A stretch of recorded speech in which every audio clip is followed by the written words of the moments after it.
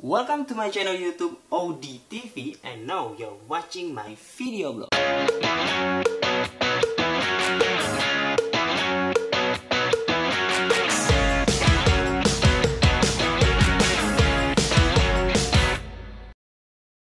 Beberapa waktu lalu, gue baru aja mengikuti kegiatan Influencer for Change Academy Jakarta. Kegiatannya diselenggarain di Cianjur, Jawa Barat. Influencer for Change Academy ini diselenggarakan oleh Campaign.id bekerjasama dengan Common Ground ID dan juga Indonesian Future Leader. Nah, untuk teman-teman yang penasaran bagaimana kegiatan kita di sana, langsung aja kita tonton videonya. Influencer for Change Jakarta, bravo!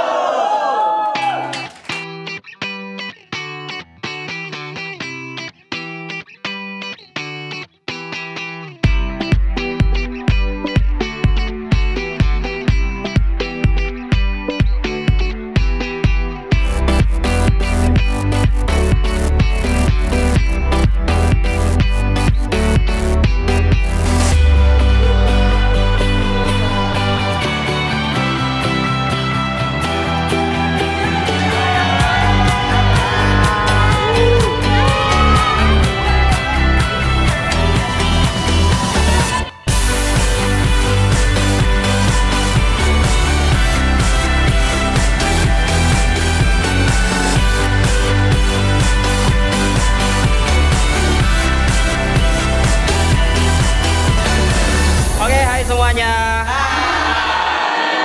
Oh ya, eh, perkenalkan nama gue Odi. Eh, gue mahasiswa di Universitas Paramadina. Eh, sekarang masa tingkir, mahasiswa tingkat akhir. Eh, hashtagnya semakuin yakuin. Nah, dalam pelatihan Influencer for Change Academy ini banyak banget hal yang kita pelajarin. Salah satu contohnya adalah kita belajar untuk mempromosikan nilai-nilai toleransi dan perdamaian kepada generasi muda Indonesia melalui sosial media yang kita punya. Seperti misalkan Facebook, Instagram, YouTube, dan berbagai platform yang biasa digunakan oleh teman-teman semua. Di situ juga kita belajar tentang konflik. Bagaimana kita menyelesaikan konflik tapi tanpa konflik. Artinya bahwa konflik itu sebenarnya hal yang sangat wajar terjadi dan sebenarnya tidak bisa dihindari. Kita bisa loh menyelesaikan konflik tapi dengan perdamaian dan kerukunan. Nggak cuma itu aja teman-teman, kita juga belajar tentang membangun personal branding kita dengan passion yang kita punya. Dan yang terakhir yang gue pelajari dari kegiatan Influencer for Change Academy adalah bagaimana setelah kegiatan ini kita bisa berkolaborasi dan juga melakukan tindakan atau melakukan aksi yang positif di masyarakat.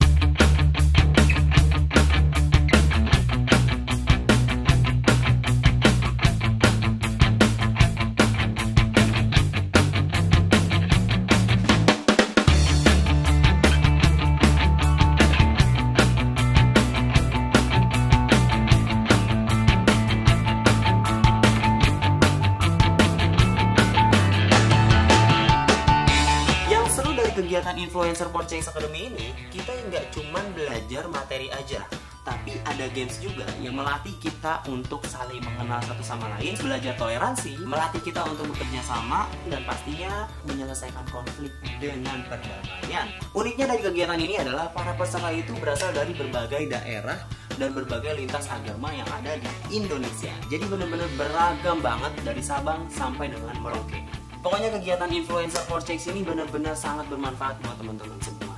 Untuk teman-teman yang pengen belajar tentang toleransi, belajar tentang keberagaman, dan juga pengen belajar tentang bagaimana mengcounter konten-konten negatif dengan konten-konten positif, kalian harus banget untuk ikut kegiatan Influencer for Change Academy.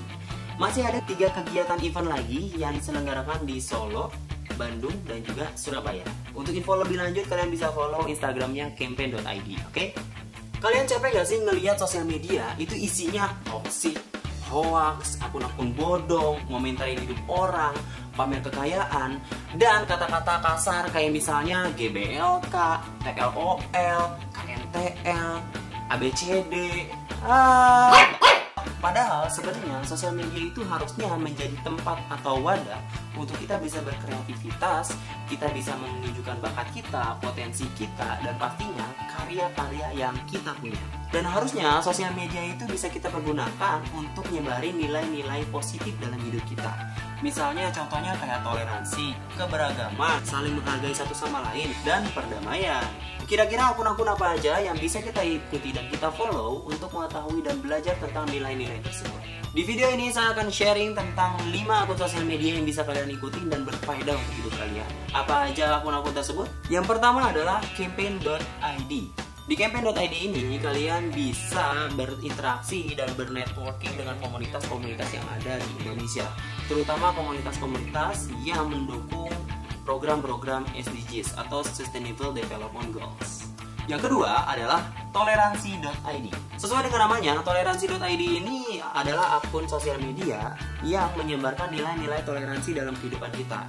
Yang ketiga adalah Sabang Merauke. Sabang Merauke ini adalah program dari Sabang sampai Merauke, yaitu adalah program pertukaran pelajar bagi siswa-siswi dari Sabang sampai Merauke. Dan nantinya para siswi ini akan menjadi adik Sabang Merauke. Yang keempat adalah Common Ground ID. Nah, Common Ground ID ini adalah sosial media yang bertujuan untuk mengkampanyekan nilai-nilai perdamaian dan bagaimana cara kita menyelesaikan konflik. Dan yang kelima adalah milenial islami. Setiap tahun milenial islami itu ngadain lomba dalam bentuk esai, foto, vlog, video, animasi, dan masih banyak lagi. Jadi buat teman-teman yang penasaran kegiatannya seperti apa, langsung aja follow Instagramnya Milenial Islami dan kalian bisa ikutan lombanya juga. Oke, nah itu dia beberapa informasi-informasi atau manfaat yang gue dapetin selama mengikuti kegiatan Influencer for Change. Dalam video ini, saya ingin mengajak teman-teman semua untuk ikut berpartisipasi dalam challenge yang saya buat. Nama challenge-nya adalah Beda-Beda Challenge. Tujuan dari challenge ini adalah untuk menunjukkan perbedaan yang ada di sekitar kita. Caranya gampang banget.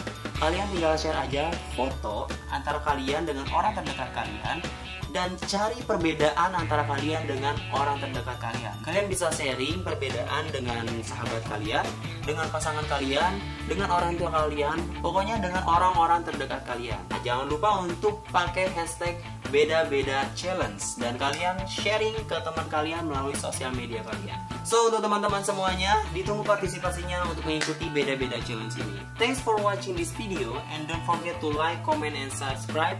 Dan juga jangan lupa untuk sebarin atau share ke teman-teman kalian kalau kalian merasa bahwa video ini bermanfaat untuk hidup kalian. Wassalamualaikum warahmatullahi wabarakatuh and salam generasi konten positif. Bye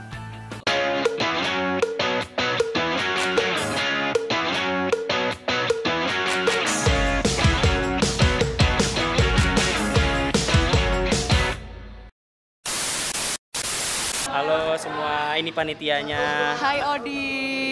Namanya Kak Eva. Ini siapa ya, Pak ya? Tolong ya. Saya pelengkap penderitaan aja mas. Gimana acara dua hari ini?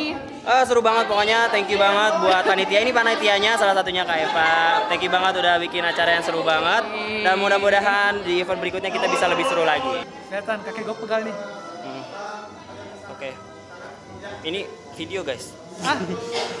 Itu kamera. Kamera. Gua orang baik, baik. Bye.